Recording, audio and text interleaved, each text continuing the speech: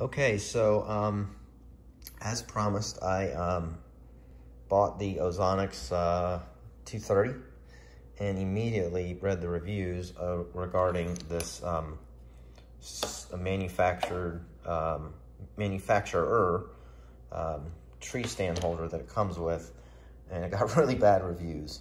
So I went online, uh, I'll put a description and a link below to Amazon, and I bought this very um, easy to understand and much higher quality ozone holder um, from Hunting Made Easy is the brand.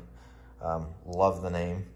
So essentially why I bought this is right here and here. So that you, ha you have a much longer area and angle to adjust it to make it, um, you know, placement where you need it and want it. Um, this is pretty heavy duty. This is the little this thing is really flimsy, actually. It goes on and it's just a simple little arm. Now remember, this is the one that came with the product.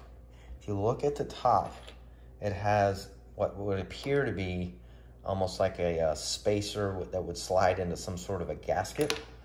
But when you flip over the actual device, it's threaded, which I don't understand at all. Um, now, obviously, the the way that you can mount these is, is very different. But if you look at the one that I purchased aftermarket, voila, it's threaded, has this cool little rubber um, washer on it. It, it uh, mounts right in there. All right, so um, obviously in a house, I'm not in a tree stand, but I just wanted to show this to you. It screws right in the bottom. Um, it's very, the threads match up perfectly. Um, you can tighten this wing nut. You can adjust it here with another wing nut. It swivels here, it swivels here.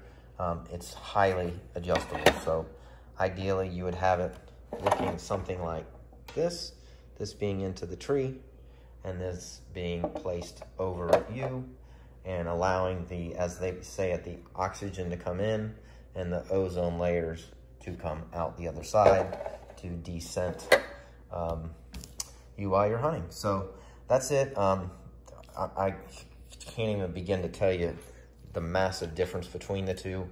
Um, haven't even put in a tree. Highly recommend it. It's built really well. It's under $20. Hope that helps.